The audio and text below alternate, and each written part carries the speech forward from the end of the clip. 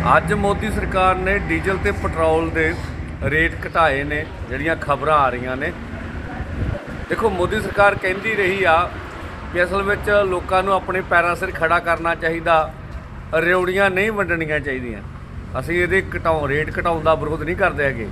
ਪਰ ਹੁਣ ਵੋਟਾਂ ਸਾਹਮਣੇ ਆ ਰਹੀਆਂ, ਤਾਂ ਭਈ ਹੁਣ ਇਹ ਸਾਰਾ ਕੁਝ ਕਿੱਧਰ ਨੂੰ ਜਾ ਰਿਹਾ?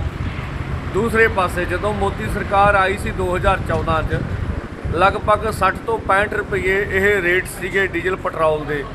ਕਿ ਮੋਦੀ ਸਰਕਾਰ ਇਹ ਤੈਅ ਕਰੂਗੀ ਵੀ ਜਦੋਂ ਉਹ ਆਏ ਸੀ ਉਨੇ ਰੇਟ ਘਟਾ ਦਿੱਤੇ ਜਾਣ? ਜਾਂ ਪਹਿਲੋਂ ਕਮਾਂਤਰੀ ਮੰਡੀ ਦੇ ਵਿੱਚ ਕੱਚੇ ਤੇਲ ਦੀਆਂ ਕੀਮਤਾਂ ਬਹੁਤ ਘਟੀਆਂ ਰਹੀਆਂ, ਔਰ ਇਹਨਾਂ ਨੇ ਕਦੀ ਡੀਜ਼ਲ ਪੈਟਰੋਲ ਦੇ ਰੇਟ ਨਹੀਂ ਘਟਾਏ ਹੈਗੇ?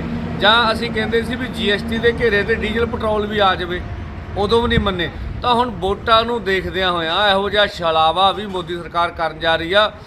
ਜਿਨ੍ਹਾਂ ਨੂੰ ਕਿ ਲੋਕ ਨਹੀਂ ਮੰਨਣਗੇ ਧੰਨਵਾਦ ਸਰਕਾਰ ਨੇ 2 रुपये डीजल पेट्रोल के दाम घटाए हैं मोदी जी स्वयं बोलते रहे हैं कि रेवड़ियों बांटने का काम नहीं करना चाहिए अब वोटों को देखते हुए मोदी सरकार खुद रेवड़ियां बांटने शुरू कर दी हैं क्या मोदी जी बताएंगे जब आप आए थे साठ पैंसठ के पास में था डीजल पेट्रोल क्या डीजल पेट्रोल के दाम उतने घट जाएंगे तो इसके बारे में मोदी जी को विचार लेना चाहिए धन्यवाद